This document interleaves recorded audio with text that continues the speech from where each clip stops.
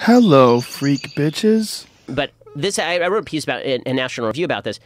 You know, you, you say that the level of hatred directed toward Trump is warping Trump. I think that it's also warping some people on my side of the aisle who are who are so, you know, interested in the fight that they're less interested in advancing the policies that I'd like to see achieved. So I think there's a whole group of people where, let's say that Trump would just resign tomorrow. He'd say, you know what, I've had it, screw it, I'm out.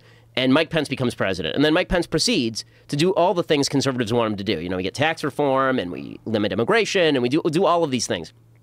But, but he does not tweet about Mika Brzezinski's bloody face. I think there's a, a whole group of people on the right who'd be pissed. They'd miss it. I think that, right. I think Especially now because it's fun. what exactly what they want is somebody who pisses off the left more than beats the left. Right. Pisses them off. If you piss off the left, I think Obama sort of trolled some of the right into insanity. I think there are a lot of people on our side where it's like this jerk. He just he keeps saying things just to piss us off. And Obama did do some of that. And so tr- Trump is kind of a Twitter troll. And so he he does the same thing. We're like, yeah, that's awesome. Like two days ago, Trump uh, or yesterday, there was a report that Trump said that he thinks the White House is shabby. Now, I can say, as somebody on the conservative right my entire life, if Obama said that, we would not let him forget that for 1,000 years. Oh, that the White House is shabby. I mean, it's like it's an ass move to say that the, the people's house is sh- first of all, it's a mansion, right? Right. Like, and second of all, this is the most iconic building on the face of the planet. Yeah. And, oh, it's shabby. How was And it shabby? What was he saying? It was shabby. He, he, he said he was, they were asking him why he visits his, visits his golf courses so much. And he said, "Oh, because the because because my golf courses are nicer because the White House is shabby."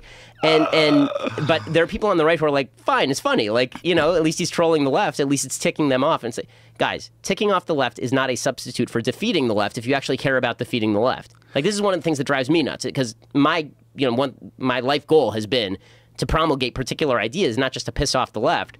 But I think that in the fight, there are a lot of people who have fallen into the trap of thinking these two things are identical, right? You piss off the left, that means you're winning. It's like, no, pissing off the left may be part of it, but that's not how you win. You win by saying things that are true, and if they get pissed, they get pissed. Well, my good friend Bill Burr did this piece about Obama back when Obama was mocking Trump and saying the one thing that I am that you'll never be is the president of the United States. The crowd went nuts. Yeah. You remember when he did Yeah, oh, that? yeah. Oh, yeah. And Obama was saying this on stage, and you see Trump in the audience boiling with his, you know, big frog double chin, just sitting there eating it all. And that fucking stuck in his craw. There's there's a whole story that came out from BuzzFeed about his interaction with a guy named McKay Coppins, a reporter for BuzzFeed, in which McKay was basically like saying to Trump, like, "You're a joke. You're not going to run."